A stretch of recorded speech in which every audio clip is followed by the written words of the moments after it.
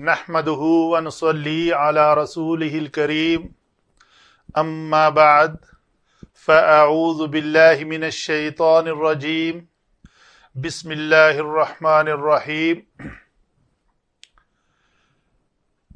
हम तीसवां पारा सूरत नास से शुरू किया हुआ है सूरह बुरूज करने के बाद हमारी आज का टॉपिक था सूरतुल इनशिकाक तो इस इनशिकाक को तैयार करते हुए मैंने पढ़ा शेख मोहम्मद मतवली अल शरावी मसर के बहुत बड़े, माशाल्लाह आलम हैं मुफसर कुरान हैं। उन्होंने जब इस सूरत को, इसकी माकबल सूरा मुतफ़ीन के साथ रिलेट किया तो वो फरमाते हैं कि सूरतुल मुतफ़ीन का अपने माकबल वाली दो सूरतों और अपने माबाद वाली एक सूरत का आपस के साथ एक रब्त है। वो रब्त उन्होंने जिस अच्छे तरीके से एक्सप्लेन किया और मुझे बात बहुत अच्छी लगी और मैंने चाहा कि मैं आपके साथ भी ये बात शेयर करूँ। अल्लाह ताला से दुआ है कि हमें इसको सुनकर, पढ़कर, इसके ऊपर अमल करने की तोफ़ी अता फरमाए।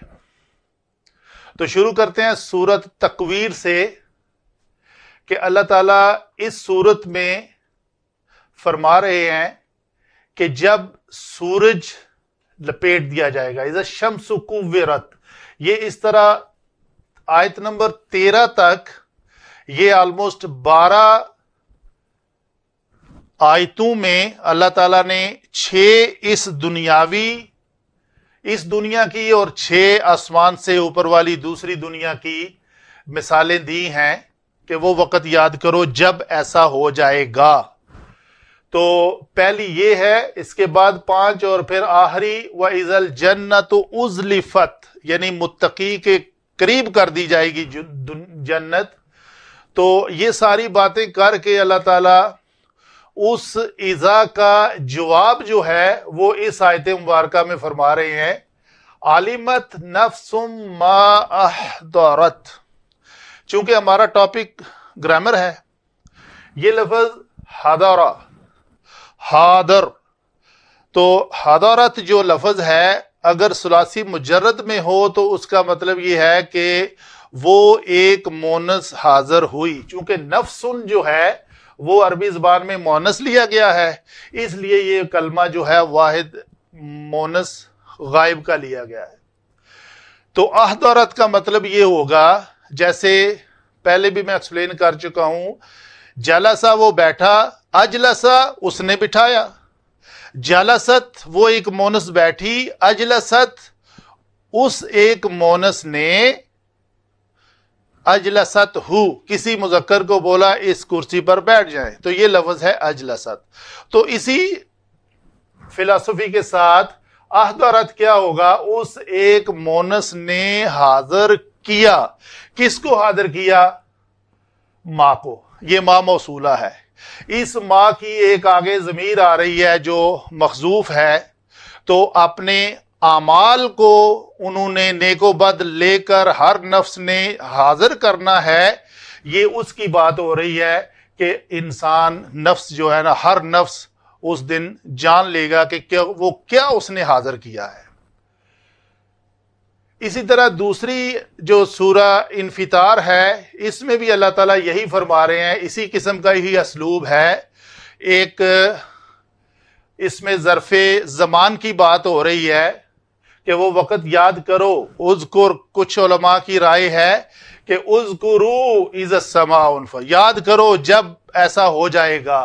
तो जब ये सारी चीज़ें हो जाएँगी, ये चार आयात मुबारक हैं तो फिर उस इज़ा का जवाब आ रहा है आलिमत नफसुम मा कदमत व अखरत। जो कुछ उसने अपने लिए आगे भेजा होगा और जो कुछ उसने पीछे छोड़ा होगा। यकीनन पीछे छोड़ा होने के से मुराद अमाल साले की शक्ल में सदका जारिया भी हो सकता है, या इसका उल्ट भी हो सकता है। और जो नेक अमाल उसने अपने लिए आगे भेजे होंगे, वो भी अल्लाह ताला के हाँ वो मौजूद होंगे। अच्छा वो मौजूद कैसे होंगे? किस शक्ल में होंगे? इसी सूरत में अल्लाह ताला फरमा रहे हैं कि ए इंसान, किस चीज़ ने आपको अपने करीम रब के बारे में धोखे में डाल रखा है? आगे आ रही आयत, व इन्ना अलैकुम हाफिजीन किरामन कातिबीन। तो वो जो किरामन कातिबीन एक किताब को, किताब मरकूम को लिख रहे हैं, वो किताब जो है इज़त सहूफ नुशरत की शक्ल में जिसमें हर अमाल मा अहदरत कदमत व अखरत होंगे, वो इस सोहफ नौशरत में लिखे हुए होंगे। और उसको कौन लिखेगा? लहाफिजीन, किरामन, कातिबीन। तो ये अल्लाह ताला पूरी तफसील के साथ बता रहा है कि किसी शक में, किसी धोखे में ना रहना। ये सारा काम आपके गिरदोनवा में हो रहा है और आपको ऐसे उसके ऊपर यकीन होना चाहिए, जिस तरह वो वहाँ पे अल्लाह ताला फरमाते हैं ना कि अफला यंजुरून इबिल कैफा खुलिकत, कि इस अजीबुल खलकत ऊँट का पैदा होने को ये नहीं देख रहे।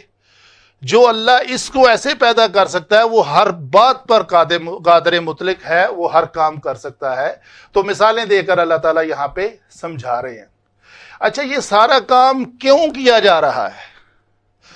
आगे सूरा मुतफिफीन का असल जो हेडिंग है, इस टॉपिक की सूरतुल मुतफिफीन का माकबल और माबाद से रब्त।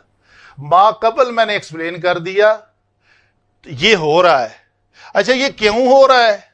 वो मुतफिफीन में बताया गया है कि एक योम अजीम आने वाला है। ठीक है? यौम युब आसून जब दोबारा उठाए जाएँगे सब लोग तो वो बहुत बड़ा दिन होगा। यौम यकूम नासुल रब्बिल वो ऐसा दिन होगा जिस दिन अन्नास, कोई एक नहीं, सब के सब जमी उन्नास या माशर अल जिन्न वल इंस, यानी जिन्नो इंस दोनों, अपने रब के हाँ खड़े होने वाले हैं, अपने रब के सामने खड़े होने वाले हैं। तो गोल टू अचीव क्या है कि आपने उधर पहुँचना है। पहुँचना किस शक्ल में है और किस शक्ल में नहीं पहुँचना, इसी आयत मुबारक के बाद आगे ज़िक्र हो रहा है, कल्ला इन किताब लफी सिज्जील आगे आ रही है आयत, कल्ला इन किताब अल इल्लीन वमा अदरा का या पहले आया था, वमा अदरा का मासिजीन आप इस सारी आया, इन सारी आयात को पढ़ेंगे तो आपको और भी वाज होकर चीज़ सामने आएगी। दूसरी आयतों का, आयतों के साथ आप जब रब्त जोड़ेंगे तो ये पूरा टॉपिक आपको चार सूरतों का एक खुलासे की शक्ल में बात समझ में आ रही होगी। तो गोया के हमने सबने मुहातब किसको किया जा रहा है? या इंसान। एक इंसान नहीं। ये अलिफ लाम बता रहा है कि ये अलिफ लाम इस्तगराकी है। अरबी ग्रामर में इसका माना है कि जमी नास पूरे के पूरे इंसान, बनी नो इंसान। उन सबको मुहातब करके अल्लाह ताला कह रहा है कि ये या हरफ निदा हरफ निदा, नकरा मकसूदा है। ये बातें आगे जाके मैं इंशाल्लाह ग्रामर में करूँगा। अभी टॉपिक को थोड़ा छोटा भी रखना है और जामियत के साथ एक्सप्लेन भी करना है। तो हम पहुँच गए। पहुँचना यहाँ पर जो मकसूद है, वो किताबुल फुजार लेकर पहुँचने से बचना है, इसलिए रेड एरो दिया है। और किताबुल अबरार लफ़ीन लेकर पहुँचना है तो वो ग्रीन है। ये है हमारा असल मकसूद। ऐसे पहुँचना और ऐसे पहुँचने से बचना। अच्छा जी। इसके बाद क्या है? आगे वाली सूरत जो इसके बाद वाली आ रही है, वो क्या बता रही है? कहीं आपको इन सब बातों, फिर इसको मिलाकर कहीं शक ना पड़ जाए कि ऐसा होने वाला है या नहीं होने वाला। जो लोग कुछ आजकल बड़ा फितना उठा हुआ है कि मैं जी मुलहद हूँ बड़े शौक से कहते हैं। उनके लिए ख़ास तौर पे अल्लाह ताला की इस किताब में ये चीज़ें वाज तौर पर अल्लाह ताला बता रहा है कि ये ये काम हो जाएगा सूरत इनशिकाक वाली, कि जब आसमान फट जाएगा वह आजीनत रबिहा व हुक्कत, वो सुनेगा और अल्लाह ताला के हुक्म की तामील करेगा। जब कोई हुक्म होगा तो वो उस हुक्म की तामील होगी। वो है ना आयत मुबारक इन अरदनल अमानत अलल जिबाल, समावत और अर्थ यानी तीनों के ऊपर जब हमने अमानत को पेश किया तो तीनों ने उस अमानत को उठाने से इनकार कर दिया। वो अमानत क्या थी? वो अमानत ये थी कि किसी बात को सुनकर उसकी अतात या मासीत का इख्तियार लेना, ये है वो अमानत। तो उन्होंने वो इख्तियार लेने से इनकार कर दिया और इंसान ने ये इख्तियार उठा लिया मासीत और अतात का। तो यहाँ पे चूँकि ये समा उसी में शामिल हैं जिन्होंने अबैना किया था, उन्होंने इनकार कर दिया तो गोया इनके पास सुनकर सिर्फ़ अतात करने का ही फैसला है इनका। इन्होंने शुरू दिन से यही फैसला कबूल फरमाया था, या अल्लाह, हम तो तेरी सिर्फ़ अतात ही करेंगे तो गोया अल्लाह जो उन्हें हुक्म देगा वो ऐसे ही हो जाएगा। फिर जब ऐसा हो जाएगा, दोबारा अल्लाह ताला उसी तरह, जैसे उस आयत में है, यहाँ पे भी सब बनीनो इंसान को मुखातब करके बता रहा है क्या इंसान, बेशक तू अपने रब की तरफ़ मुशक्कत और मेहनत करके चले जा रहा है। आपकी ये जो ज़िंदगी है कादिहुन है किसी मंजिल मकसूद की तरफ़ मुशक्कत करके चलना। ये इसका लघुवी माना है। तो चूँकि इला रबी का है तो अपने रब की तरफ़ मुशक्कत करके चाहे वो आमाल साले हों, चाहे वो आमाले गैर साले हों, इंसान इस ज़िंदगी में अगर अपनी ज़िंदगी पर गौर व फ़िक्र करे तो गोया वो बहुत मेहनत कर रहा है। तो इस मेहनत के साथ, मुशक्क़त के साथ वो अपने रब की तरफ़ जा रहा है। कदहन इस कादहुन का मफूल मुतलक है। तो गोया इसमें ताकीद है, इसमें कोई शक बाकी नहीं है कि इंसान की जो मंजिल है, वो यौम यकूम नासुल रब्बिल आलमीन नहीं है। है ज़रूर उसी पे ही जाना है। कहीं और निकल कर इन आसमानों और ज़मीन की हदों से निकल कर कहीं और नहीं जा सकते। उधर ही पहुँचना है। फमुलाकी तो अल्लाह ताला से उस दिन मुलाकात होगी। तो उस मुलाकात के ऊपर अल्लाह के सामने खड़े होकर किताबुल अबरार लेकर खड़े होना, ये हमारा मकसूद होना चाहिए इस ज़िंदगी में। और किताबल फुजार लफी सिज्जीन को से बचने का ये मकसूद होना चाहिए।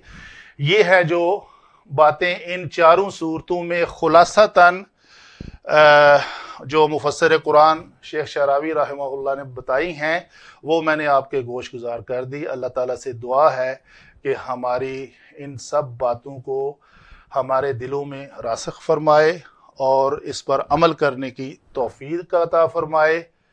वमा अलैना इल्लल